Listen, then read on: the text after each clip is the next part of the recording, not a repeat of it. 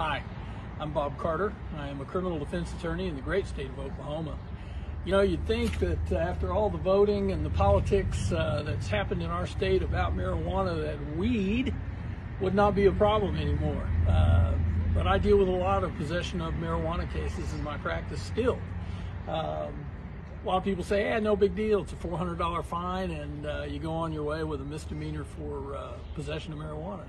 Well, some district attorneys have said that's not the law. That the law is still that is up to a year in jail and up to a $1,200 fine. And we have had to take that to court, and we were threatened with taking it all the way up the appeals process.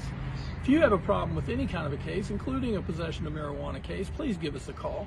My name is Bob Carter. We can be reached at 405 236 1800, and we'd like to be of service to you if we can.